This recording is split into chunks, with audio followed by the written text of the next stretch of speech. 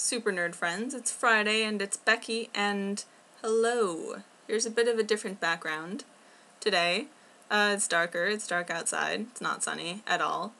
Um, so here's my awesome poster that you guys gave me and my cat who is sleeping. Um,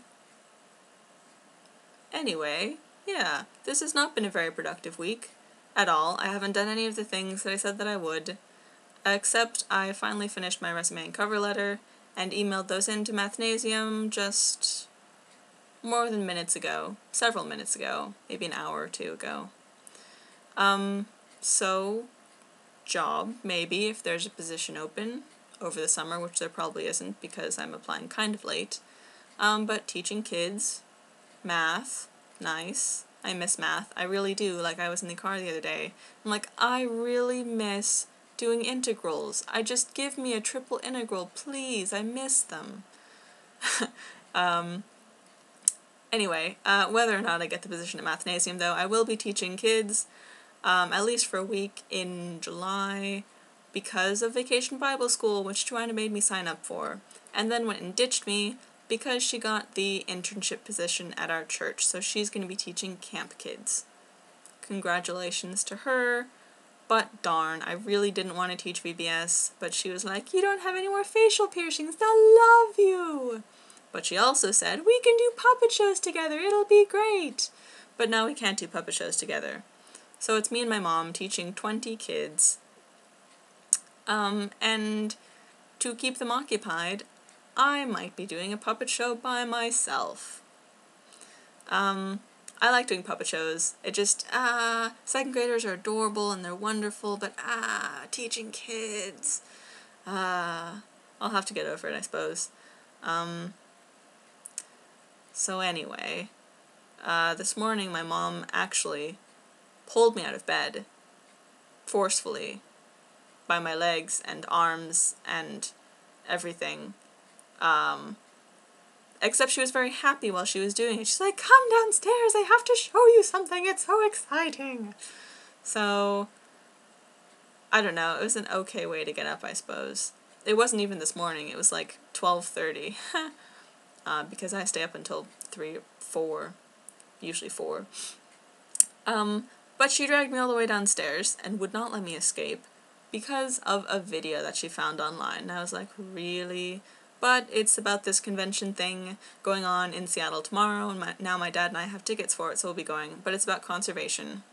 And I feel kind of bad because none of my videos have been about anything future related or nerdy or sciency at all. So after this, after tomorrow, I will tell you what I learn about vertical farming and um, clean, green conservation things. I will, and there will be more nerdage in my films so that'll be good. I'll learn some stuff. Maybe, maybe I'll be inspired by the wonderful technology possibilities out there for my future.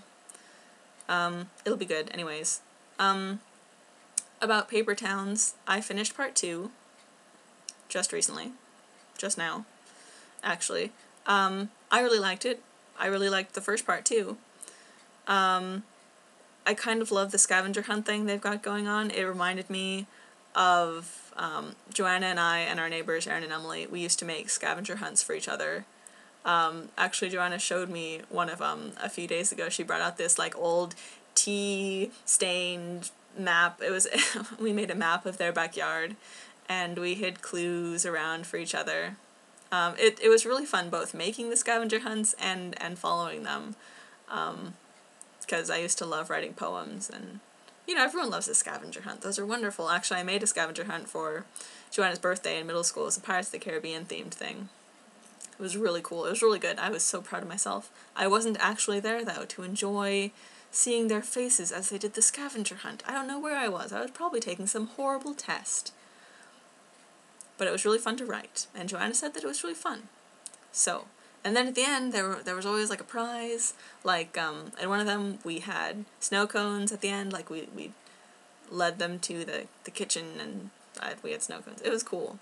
Um, for Quentin, however, at least part of the time, he thinks he's going to be finding a body, so kind of puts a damper on the whole excitement of the scavenger hunt. Um, I really, I, I don't think they're going to kill Margot, though, at this point. At, at the end of part two, that doesn't seem like it's going to happen, which is good. Um, definitely.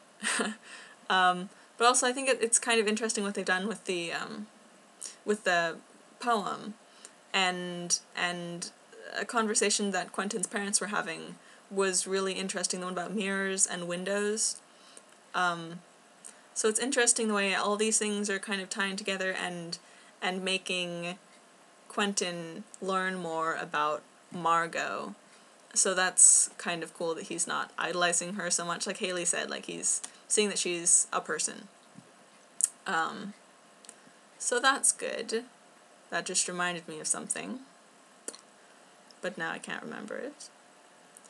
So, also, urban exploration. Awesome. I totally wish I could do that. I would be so terrified. That's, it's, okay, someday I will. I'll be living in a place with, like, an abandoned mental hospital, or, I don't know, I've never really actually been in an abandoned building. They've always creeped the heck out of me. Someday I will, though, and it'll be really cool. They just make such great settings for scary things. You know, it'll be great. Like in the John Green, John Green made a video of that. I wonder if he does that very often, or was, Alexis probably knows if that was like the only time that he's done that, or... I don't know about actually sleeping in an abandoned place, though. That's pretty intense. Hmm, I don't know. That was very cool. So I'm enjoying the book a lot. Um, at the end of it, at the version I have, um, I think I downloaded a slightly different one to what you guys have. Um, but there are some discussion questions. So I don't know, are we going to continue on to part three now? And if we are, then uh, I could bring up some of those discussion questions. That'd be cool. Um, yes.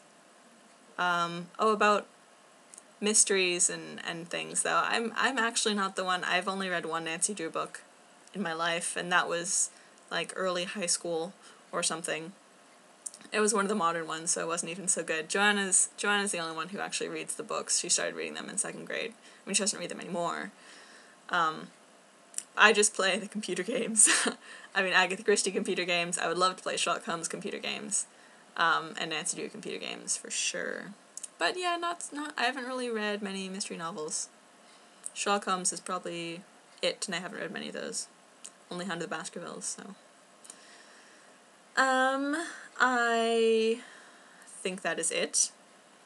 So, I will see you guys later, and look forward to watching your videos. And I'm just going to go ahead and read part 3 of Paper Towns. So, and hopefully, hopefully get a job. Well, I'll, I'll let you know how things go. Um, bye! Oh, that did not, that did not close it. Okay, bye.